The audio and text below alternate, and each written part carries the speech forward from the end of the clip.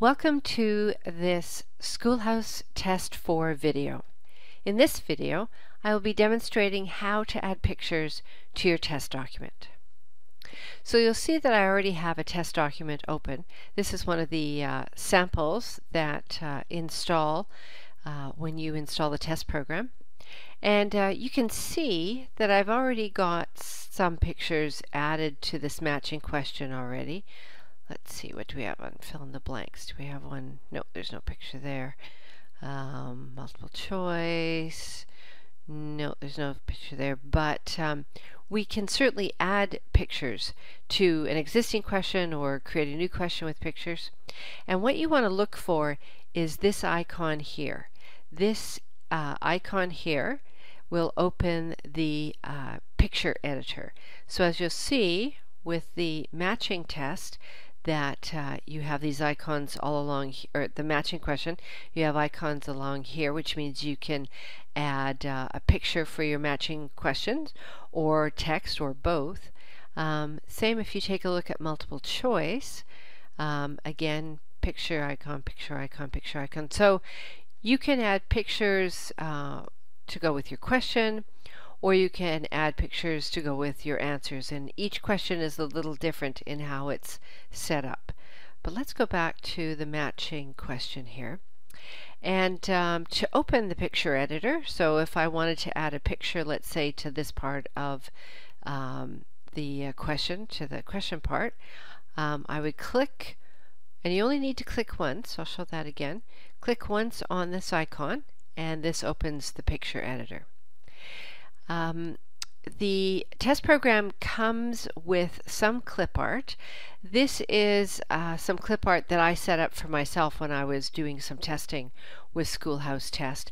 And the reason I've opened this up rather than the standard clip art is there are a few things that I have created that uh, I'll, I'll use for a demonstration when I'm setting up a question. Um, but just to begin with, um, you can just click something and add it to the screen. Um, or if I delete this, I can uh, copy an image from another source and then just paste it in here. Um, one of the things um, that I will mention right now is you may want to open options here and perhaps set the maximum width or height um, to somewhere around 1200. And the reason I'm suggesting this is in most cases, when you're bringing images into the program, you want to bring them in at uh, their full size as much as possible, and then maybe do uh, one, uh, at the most two picture resizings within uh, the the, the program because each time you increase the size or decrease the size of an image so I can increase it or I can decrease it or I can use this edit size um, dialog in order to do this. But each time you increase or decrease the size of any particular um, picture it does degrade the clarity of the picture. And you'll really notice it when you're bringing in images that have text or writing like this. So for example, um, this picture here was not a very good picture to begin with, but if I increase the size of it or decrease the size of it quite a bit, the clarity, particularly on this text, will decrease, degrade, and, and not work very well um, on the test document. Much less an issue for these kinds of drawings where it's just uh, a straight picture um, or if it's like a photograph or something, but anything that has text in it uh, will uh, really suffer from too many changes in size. So my suggestion is, is if you uh, open options here and set your maximum height somewhere to around 1200, um, in this case, it will bring in many of the objects in at their full size, and then you can just come in and do a little bit of uh, adjustment uh, to the sizing here. All right, um, so let's, uh, I'm going to cancel this out here for right now, and I'm going to add, uh, let's see, down at the bottom here, I'm going to add actually one of our uh, diagram is a particular um, uh, test question and you can see here I can add my question here I can add a picture but this is where you would actually add the diagram or and or the diagram key. So uh, I might say uh, fill in the blanks uh, or, or uh, maybe label the diagram. Let's do that instead. So I come down here and first I want to put my diagram in. Now this is where I've uh, got some pictures set up already. So I have pictures of flowers, one without labels, and I'm bringing it in here, and then for the key, I've got one with labels so that I would actually have an answer. Now, I think what's going to happen is these are probably going to be fairly large uh, for the for the program, but uh, we can always go back and adjust this. But uh, I just wanted to show you. Uh, I'm going to uncheck keep together because I'm not too sure what size these will come in at uh, when we add this. So let's take a look. And, oh, nope, there it resized it within the column for me. So there's my diagram. And then when I choose the answer key, now I get the diagram with the labels. So by bringing this uh, in at a fairly large size, now this looks pretty large here, um, I didn't resize it, and I didn't resize this one. Um, I'm going to get better clarity on my test document um, because I didn't have to resize it. The program actually went ahead and resized it to work within the column.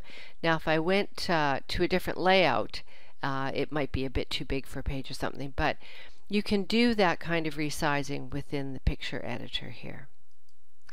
So uh, let's do one more demonstration here.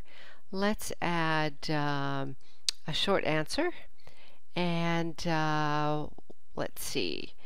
Uh, oh, calculate. Let's just uh, do that and we're going to add uh, what I'm going to add to the picture editor this time is an equation from Microsoft Word. Now Microsoft Word has uh, a, uh, an equation editor and I'm just going to go to, my, to, Microsoft Word and um, with it, while this uh, equation is in Word it's like a special kind of text. But as soon as I copy this, it becomes a special kind of image. So it is an image, even though you've set it up as text. Um, it once you copy this and take it out of Microsoft Word, it becomes an image. So I would want to resize this image within Microsoft Word in order to get the best clarity because this is all text in here. And then once I'm happy with the size of that, let's say I go that size, I'm going to copy this and uh, control C for copy and I'm going to go back to, oh I'm not going to save yet. When I come in here, oh that interfered, oh no, there we go. Uh, I should be able to just paste this in. And there we go. There's the equation from Microsoft Word. Now, I'm not going to resize it. I'm going to want to take a look at it first on the screen and uh, or on the document to see whether it's the size I want before I do any resizing. And let's see, where did it go? There it is, right there. And uh, if I'm happy with that, great. Um, actually, I think I probably would want to put the uh, the text above it. So I want to go um, bottom left. There we go. Let's go back here to the test document.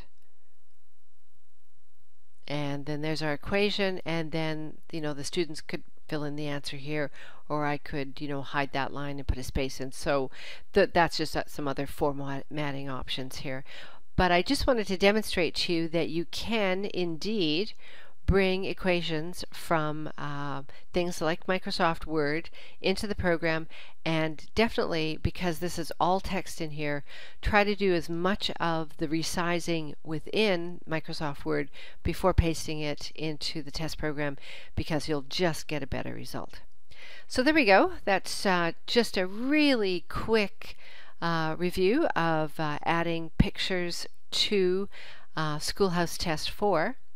So thank you for watching this video and for more details go ahead and check the help documentation within the program or you can contact us by email.